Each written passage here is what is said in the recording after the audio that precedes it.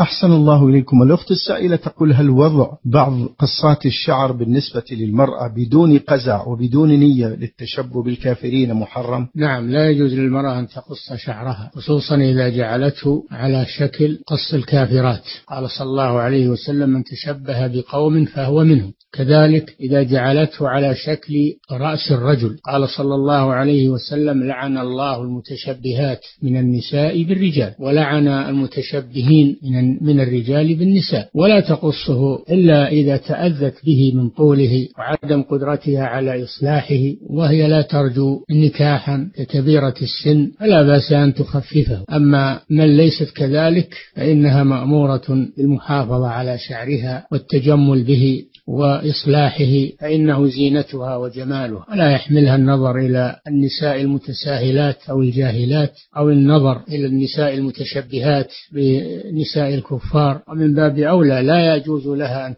أن تتشبه بنساء الكفار التي يظهرن في الشاشات. قال صلى الله عليه وسلم من تشبه بقوم فهو منهم. الخطر عظيم. نعم.